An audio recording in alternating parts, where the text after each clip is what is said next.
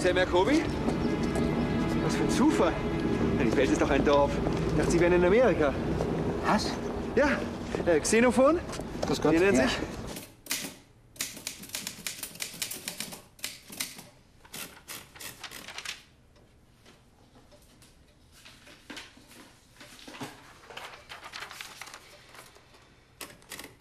Tiefer. Nicht Sie, Herr Hass. Ich meine die Masseurin. Und wissenschaftlich ist es natürlich eine riesige Herausforderung. Kaum jemand weiß etwas von seinem Jagdverhalten, seiner Anatomie, seiner Ernährung. Das ist. Wahrscheinlich frisst der Kameramänner. Ja, das ist schwer zu sagen. Das ist, hat ja noch nie einen gesehen. Das ist bei den Haien in Hollywood natürlich anders.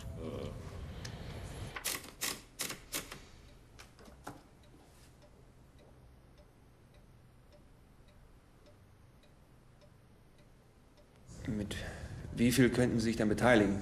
Vergessen Sie es. Mit Ihren Fischen kriegen Sie niemand ins Kino. Aber Entschuldigung, das sind die letzten Geheimnisse unseres Planeten. Das sind richtige Abenteuer. Da unten war vorher noch kein Mensch. Eben zu riskant. Und weiß man, ob Ihr weißer Hai überhaupt auftaucht? Ja, natürlich wird er auftauchen. Und wenn ich warten muss, bis ich schwarz werde. Hm.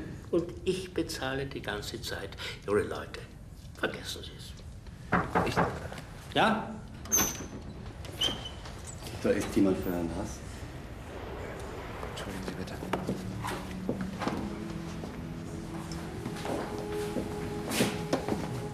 Was machen Sie denn hier? Hier, die Kündigung, der Schlüssel fürs Büro. Ich kann das nicht. Im, Im Büro hocken, während alle anderen auf Expedition gehen. Das kann ich einfach nicht. Tut mir wirklich leid. Verzeihung.